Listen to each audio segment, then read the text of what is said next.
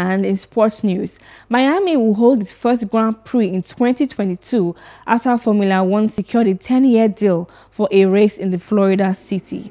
The move is a culmination of years of work by F1's owners, Liberty Media, who wanted a race in the U.S. destination city as they seek to grow the sport. The event will be held on a 3.36-mile track along the Hard Rock Stadium, home of the Miami Dolphins NFL team.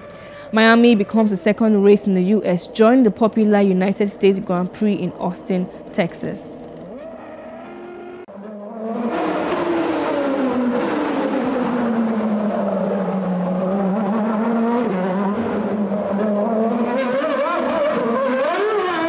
Well, I guess we'll have to wait and see um, how it's going to be as an F1 location.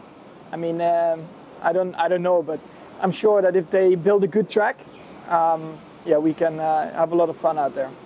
Uh, racing in the US, it's always a, a great fun, you know, culture-wise, it's very close to Mexico as well.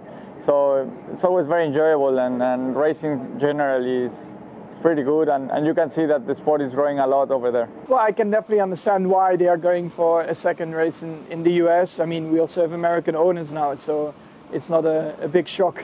But uh, I'm good with that. I'm, uh, I'm always happy to be in America, and of course, it's in a different place now than Austin. Um, so, yeah, I think it's, it's perfect.